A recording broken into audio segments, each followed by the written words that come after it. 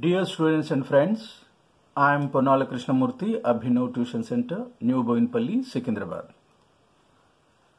Easy mathematics. Solve x plus 2y equal to 10 and 2x plus 3y equal to 15. First method. Given x plus 2y equal to 10 and 2x plus 3y equal to 15. Equation 1, equation 2. To cancel x terms, we need to have the coefficients of x equal. Since this is 2, if we multiply this one by 2, we will get 2x here also. Then multiply the whole equation by 2. 2x plus 2 2s are 4y and 2 10s are 20. Now these two are cancelled after changing the signs. 4y minus 3y is y. Now this is 20 minus 15 is 5. y is equal to 5. Substituting this value in equation 1. x plus 2 into in place of y we substitute 5 is equal to 10. This 10.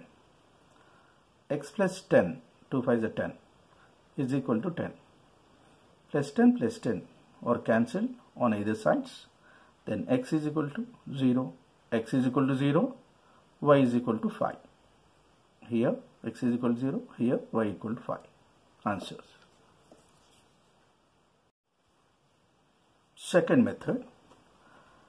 x plus 2y equal to 10 equation 1 2x plus 3y equal to 15 equation 2 here if we cancel this 10 and 15 by 5 you will get 2 and 3 here we have 2 and 3 that means the ratio of the coefficients of these two is equal to the ratio of constants 2 3 and 2 3 in such a case x is always 0 then substituting x value in place of x in the equation 1 0 plus 2y equal to 10 y is equal to 10 by 2 is equal to 2 5 is a cancel 5 answer. x is equal to 0 and y is equal to 5 answer.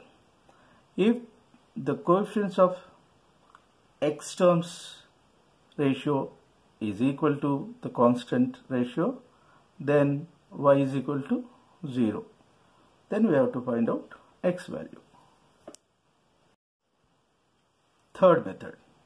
Given x plus 2y equal to 10 equation 1 2x plus 3y equal to 15 equation 2 now we want to cancel y terms. We have 2 here 3 here LCM for these two is 6 so we have to get 6 here and 6 here. To get 6 here we multiply equation 1 by 3 3x 3 to the 6y 3 10s are 30 and we multiply this equation by 2 2 to the 4 and 2 3 is 6 and 2 15 is 30 now these two are cancelled. X is nothing but 3x here now. 3x minus 4x is minus x plus 30 minus 30 is 0 that is x is equal to 0 substitute x value in equation 1 0 plus 2y equal to 10 this 10 y is equal to 10 by 2 2 5 times y equal to 5 x is equal to 0 and y is equal to 5 answers